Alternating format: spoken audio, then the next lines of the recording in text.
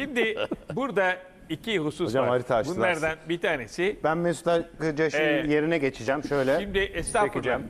Birinci, birinci husus şu. Şöyle oturayım ben de. Yunanistan'la olan anlaşmazlığımız Lozan ve Paris anlaşmalarıyla yani Boğazönü adalarıyla 12 ada zaten bunları kendi taş atıp almadı. Anlaşmaya göre e, bir defa Uşi anlaşması dediğimiz yani biz Libya'dan çekildik İtalya buraya almıştı geri verecekti bize vermedi Yunanlı'ya verdi. Yunanlı taş atmadan 47 oturdu buraya.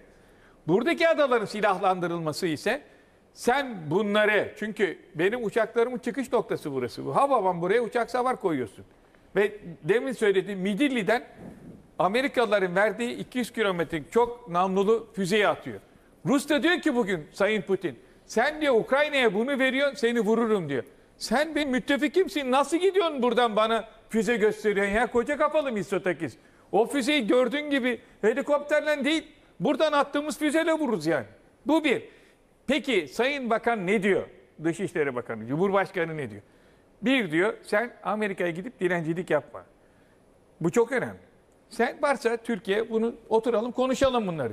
Ha Amerika halbuki Rusya Yunanistan'da diyor ki benim yanımda Amerika var, Fransa var ve silahlanma var. Türkiye'de hesaplaşacağım. Ya ne istiyorsun sen Türkiye'den? İkimiz de NATO üyesiyiz ve burada sen 12 bine çıkardığın takdirde bu Türkiye için savaş sebebi. Neden? Türkiye çıkamıyor buraya. Ne uçağımız çıkıyor ne gemimiz çıkıyor. Sana yedirtirler mi burayı? Bu bir. İkinci husus buradaki çıkan Doğu Akdeniz'deki mesele. Türkiye diyor ki kazan kazanla biz bunu götürelim sana. Hayır diyor. Bir tane harita yaptırmışlar. Üfürükten tayare. Türkiye'yi buraya şey yapıyor. Hasbediyor. Olur mu ya? Coğrafya diye bir şey var. Hukuk diye bir şey var. Ve en uzun kıtaya sahip olan Türkiye. O zaman burada bir zenginlik varsa Kıbrıslılar da alacak.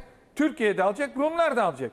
Sen bizi nasıl yok sayarsın? Ha peki buradan aldığın silahlar. Gelelim şimdi buraya.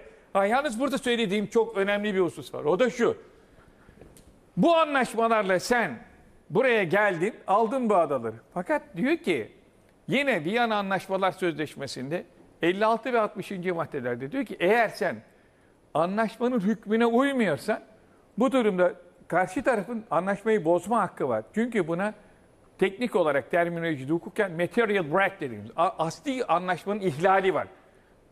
Diyor ki bakan, sayın bakan, bak diyor sen burayı silahlandırıyorsun. Ya bu çek ya da Türkiye egemenliğin tartışmanı yapacak. Neden? Bir, sen buraları benden almadın. İtalyan'dan aldın. İki, buraları silahlandıracaktın, silahlandırmıyorsun. Bir de Türkiye'ye karşı tehditkar. Her gün bizi şikayet ediyor. Avrupa Birliği'ne gidiyor, bizi şikayet ediyor. Avrupa Konseyi, Birleşmiş Milletler, NATO. Neredeyse dilenci Mahmut'u geçtin ya. Ya akıllı olan Mitsotakisler. Bizim sen, sen sana ne kötülük gelir ya. Burada bak şimdi yaz geldi. Yunan gemileri geliyor, Türk, Türkleri götürüyor. Değil mi? Kalamar da yiyor, karides de. Karides de yiyemeyeceksin ondan sonra. Ha, gelelim bu tarafa. Demek ki burada hukuki olarak Türkiye gereğini yapmıştır.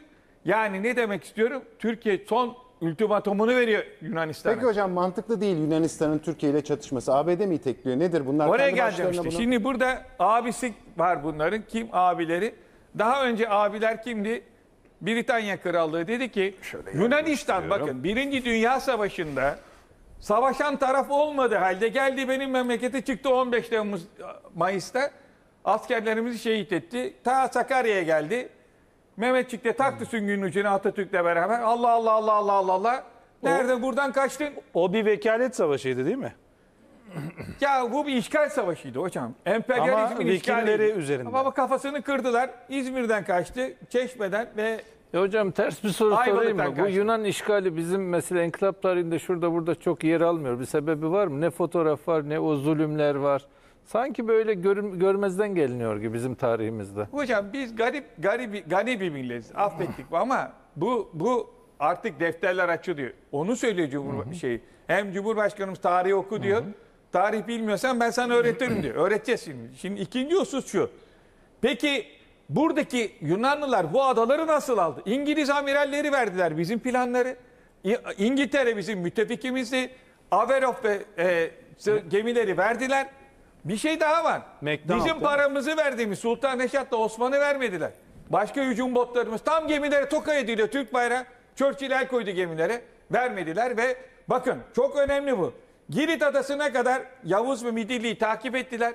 Burada bunlara kömür verenler İngilizler. Niçin verdi? Halbuki İngiliz donanmasının bu gemileri batırması gerekiyordu. Osmanlı almadı bunları. Burada bekletti. Batırabilirdi burada. Batırmadı. Neden? Sebebi çok basit. Buradan Almanya sıkışmıştı buradaki şeyde yeni bir cephe açılması gerekiyordu. Ve biz Rusya'ya ateş ettiğimiz anın sabahında İngiltere ve Rusya Türkiye savaşa bizi soktu.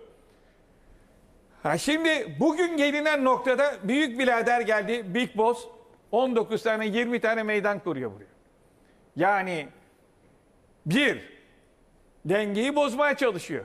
İki benim F-35'lerinden çıkardı. Üç F-16'sını parasını verdiğim halde vermiyor. Şimdi bu nasıl bir tehdit oluşturuyor? Şimdi bakın buradan Türk milletine seslenin. Şu gördüğünüz Apache helikopterleri, buradaki Midille'deki silahlar, bunlar bizim batı meydanlarımızı vuruyor. Artı Yunanistan, bu çok önemli. Göya Frontex dediğimiz yani göçmen kaçakçılığını önlemek için İsrail Yunanistan'a Atina ve Midilli üzerinden insansız hava araçları öğretiyor. Pilotlarını eğitiyor. Artı bir şey daha var. Şu bölgede Dede Ağaç bölgesinde çok büyük bir yığılanma var. Nasıl? Tankları getirdiler buraya. M1 Abram tankı. İki, Bradley 300 tane bedava veriyor. Ya söylüyor Cumhurbaşkanı 600 milyar dolar bunun borcu var. Nasıl alıyor bu silahları arkadaş? Mümkün değil yani. Peki Bradley'i ne yapacaksın? Bradley tankı ne yapıyor? Saatte 60 kilometre. Gır gır gır gır gır. Buradan Rusya'ya mı gideceksin? Bundan aptal mısın kardeşim? Bulgaristan var, Romanya var. Rus kafana koyar füzeleri geçemezsin orada. Peki tanklar ama en önemlisi şu helikopterler, Apache'ler. Bunların her bir tanesi 12 tane tank savar füzesi taşıyor. Ağır helikopter. Artı küçük helikopterler var. Kiowa 76 tane. Hepsini biliyorum ben. Açık kaynaklar bunlar. Her biri bir tankı vuracak göğe. Bizim Trakya'daki kuvvetleri vuracaklar. Ama verdikleri bir silah daha var. Topçu veriyor. Bir. iki MDRS dediğimiz çok namlulu füzeler. Bunlar 180 ile 200 kilometre menzilli. Bizim buradaki meydanlarımızı vuruyor. Ha, demek ki burada eğer biz Yunanistan'la bir çatışmaya girersek, sabahleyin dedi ki 12 bin Türkiye taarruza başladı burada. Savaş başladı. Hop karşımıza Amerikan askeri çıkacak. Kalktı sıra Amerika'nın kucağına, eteğine saklanıyor. E, İngiliz'in de eteğine taklandığından ama bulamadın. Şimdi bir başka husus var. Hava kuvvetlerindeki dengesizlik de şu. F-16 Viper'larla bunların F-16'ları modernize ettiler. Bir. Rafael uçakları verdiler. İki. Üç. Şimdi diyor ki biz anlaşma yaptık yeğenim. Suda Körfezi ile buradaki meydanlara F-35, F-18 gelecek. Pardon F-15E gelecek. Bunlar hangi tip uçaklar? Avcı uçakları. Ulan buradan kalkıp nereye vuracak bu? Moskova'ya mı vuracak? Çocukları bile kandırırsın sen. Burada Yunan pilotları, Amerikan pilotları da kola girecekler. Benim tayyareler alarma kalktığı zaman dogfight'ta Yunan pilotu arkasına geçecek Amerikalı. Beni koru, beni koru. E onun arkasından bize efelik yapacak. F-15E elektronik harp uçağı. F-35 radara yakalanmayan uçak. Demek ki burada bize 5 sene 10 sene içerisinde psikolojik baskı uygulayacak. Ah benim pilot da çok korktu. Ben söylüyorum buradan Yunanlara. Ulan bizim tayyare 104 tayyaresi 42 yaşındaydı. Yunanlılar Miraj 2000'leri almıştı. Benim pilot pat diye geçiyordu arkasına. Bak 45 yaşında bir numara bir yaşındaki tayyareyi avlıyordu benim pilot. Öyle aslan parçaları var Türkiye'de. Sen burada yanlış yapıyorsun. Havacılığı bilmiyorsun. İkinci husus şu. Verdikleri gemiler. Dört tane fırkaten şeyden aldı mı Fransa'dan? Dört de Amerikalı veriyor. Sekiz. Dört tane de bizim en iyi gemilerimiz Alman mekoları. 12 tane gemi, denizaltılar, torpidolar. Yunanlı yeni bir donanma yaptı. Ulan kime yapıyorsun bunu? E, Rusya'da savaşacağım. Savaş mısın? Aptal ben boğazı açmadan sen nasıl geçeceksin buradan? Demek ki bize karşı burada bakın bu hafta ne diyor Yunanlılar? Savaşma zamanını biz seçeceğiz diyor bakanları. Yani 12 bine şey yapacak. ne Özgüvene zaman? bak. F-35'ler geldiğinde. Peki şimdi Nevtex ilan ediyor. Bu ne demek? Bizim araştırma gemilerin yani Girit'te yaptığımız şey var ya tatbikatlar. Onun için bizim gemileri susturacaklar. Şimdi bir başka şey daha var. Kıbrıs'ı silahlandırıyorlar. O zaman ne? Demek ki burada yapılan tatbikatlar, silahlanma, tatbikatlar yaptığın zaman bizi batıdan zorlamak istiyor. Batı meydanlarımız ve Sayın Bakan'ın dediği gibi 100 senede biz belli bir zenginlik elde ettik. Savunma sanayimiz, harp sanayimiz gelişti. Trakya'daki Eskişehir, Kayseri ve Ankara'daki savunma sanayini vurabilecek füzeler verildi buna. Rafael uçakları onlara güveniyor. İyi de amanak bizim de başka silahlarımız var. Sen daha kıpırdamadan biz bu adaları vurabiliriz, işgal de ederiz. Sen ne oluyorsun yani? Çakır'ı görünce tedirgin oldular zaten. Ha şimdi kendileri de biliyor çok şey kaybedecek. Ha burada eğer bir savaş başlarsa o zaman Yunanistan çok şey kaybeder. Türkiye de kaybeder. Ama en çok kaybeden Yunanistan olur. Ve bütün bu bedelsiz aldığı adalarda aslı yok yaylasında 100 bin koyunum var diyemez. Bir. Tutturmuşlar Yunan adalı. Şimdi İtalyan şey diyor ki nedir onun adı bakan milletvekili ya diyor Osmanlı gibi geliyor Türkiye başıma. Bizim öyle bir şeyimiz yok ki biz hakkımızı istiyoruz. Türkiye hukuk devleti aklını çalıştırdı ne yaptı? Libyalı anlaşmasını yaptı. Türkiye Mısır'la anlaşıyor. Türkiye İsrail'le anlaşıyor. Demek ki Türkiye hakkını koruyacaktır. Buradan sesleniyorum. Yunanistan bu sevdadan vazgeç. Türkiye meydan okuma. Kılıcını kırarlar yeğenin. Ondan sonra takat leylek gibi gezersin. Uçamazsın buralarda. Gel burada Türkiye'de kardeş ol. Türkiye'nin bileğini tut. Unutma. Bir daha söylüyorum bak. İkinci Dünya Harbi'nde Almanlar geldi buraya kaçtınız. Söke Ovası'nda Yunanların karnını Türk milleti doyurdu. Biz güzel bir gani bir milletiz.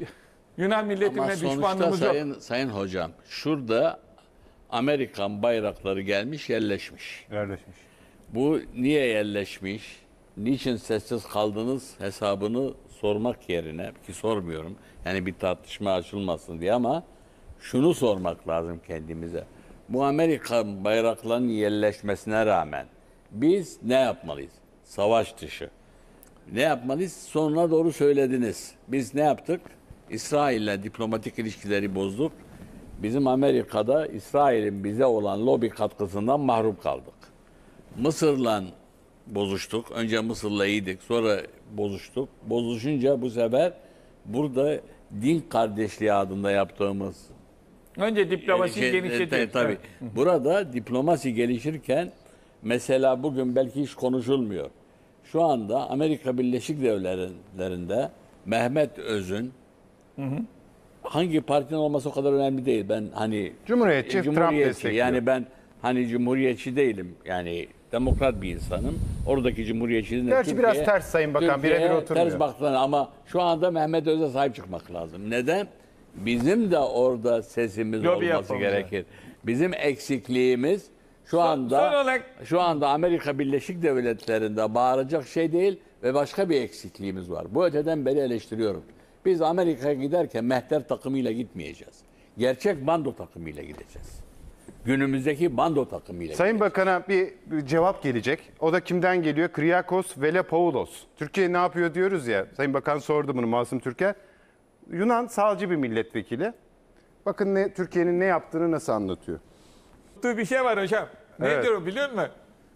Meclislerinde kullandığı maske bile Türk malı onu da- attılar yerlere. Ulan Şaban herifler. Türk'ten sen yarışabilir misin? Sen 9,5 milyon otur oturduğun ama- yerde. Masum Bey şey yapıyor ama Türkiye Ama hayır bu bana cevap vermiyor. Bu tam tersine aslında bu benzer bir konuşmasını 1800'lü yıllarda Abdülhamid yapmıştır.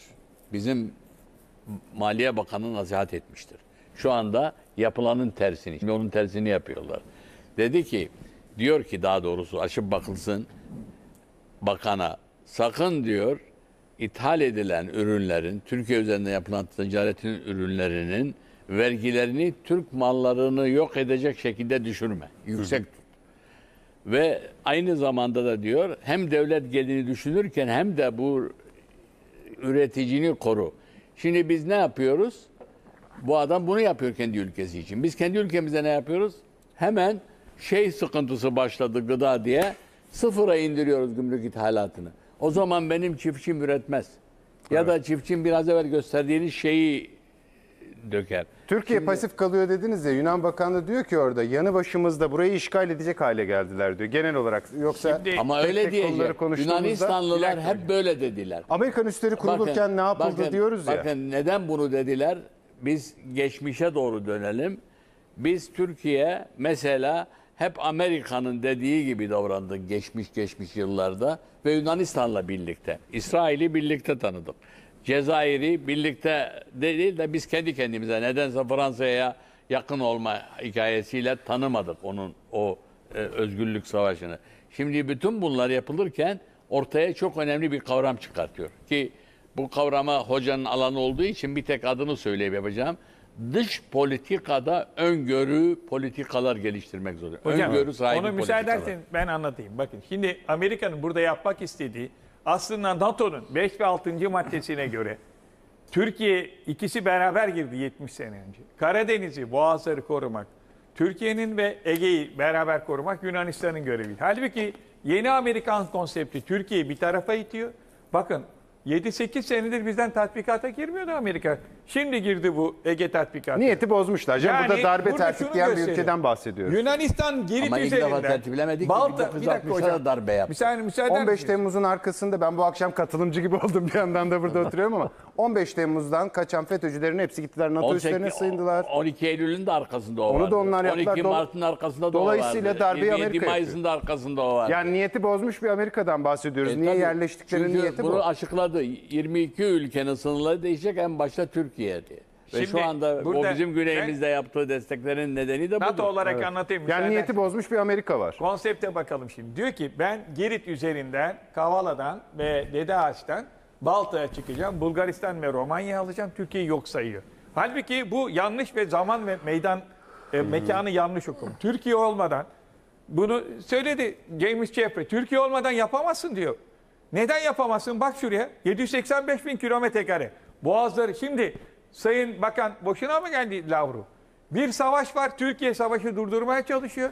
Ve tahıl koridorunu açacak. Bakın gemiler geliyor.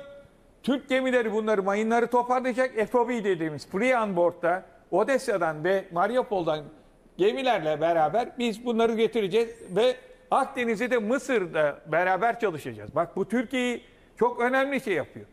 Çünkü bu şeyin gıdanın büyük bir kısmı Mısır'ı açlıktan kurtaracak. Demek ki Türkiye devlet aklını kullanıyor. İki Evet, asıl barışçı. Bakın şimdi ben Sayın Lavrov Antalya'ya geldiğinde oradaydım.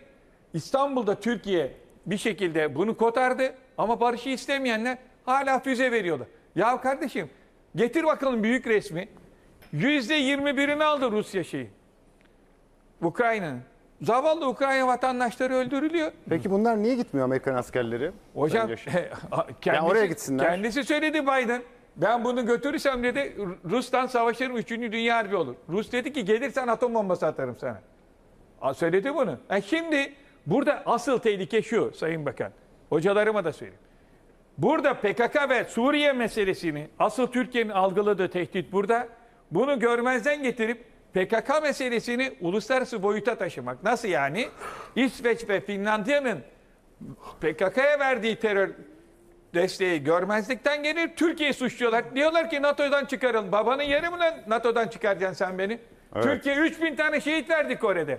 Bir. İkincisi Üçüncü NATO de- devleti e, İngiltere'den sonra. Ha bir de şu var. Türkiye'nin yaptığı çok büyük bir katkı var. İncilik'te taktik nükleer silahlar var. Yunanistan'da var mı bu? Yok. Bir defa Yunanistan'ın savunma derinliği yok. Ve bütün bu strateji bakın şöyle söyleyeyim. Yani Rusya'nın koyduğu konsept şu.